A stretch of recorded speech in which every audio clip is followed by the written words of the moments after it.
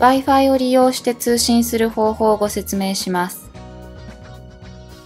無線 LAN 機能を使い、家庭内で構築した無線 LAN 環境や外出先の公衆無線 LAN 環境などを利用してインターネットに接続できます。ホーム画面でメニューボタン、端末設定の順にタップします。無線とネットワーク内にある Wi-Fi をタップします。画面右上のオフをタップしてオンにします。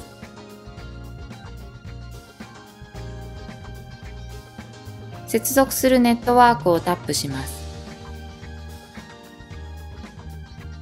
パスワードを入力し、接続をタップします。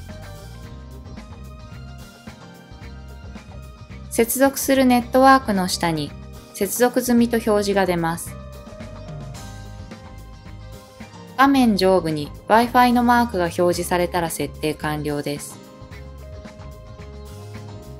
続いて、オープンネットワークへの接続方法についてご説明します。オープンネットワークを選択します。